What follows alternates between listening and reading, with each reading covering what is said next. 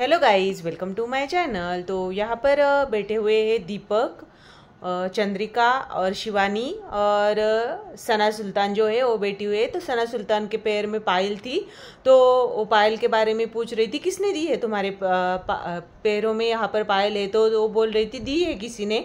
तो ऐसी बातें चल रही थी। तो फिर वो बोल रही वो अपनी गाँव की कहानियाँ सुनाने लगी। हम क्या करते हैं, क्या नहीं? सुबह से लेकर शाम तक और सबके बारे में, घर के बारे में, अपनी बहन के बारे में और बहन की जो बच्चे हैं, उनके बारे में, सबके बारे में यहाँ पर बातें करती हुई नज़र आई शिवानी।